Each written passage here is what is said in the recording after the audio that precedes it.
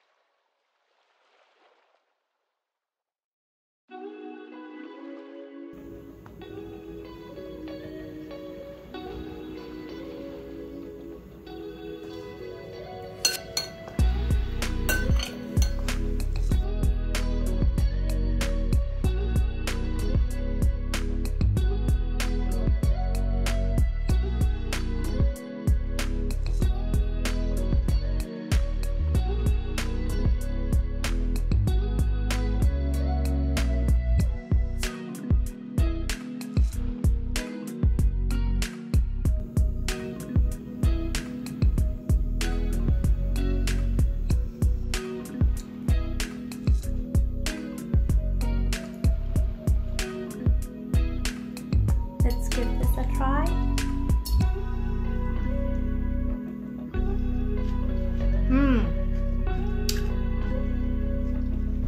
This is so good. It's flavorful. It's crunchy.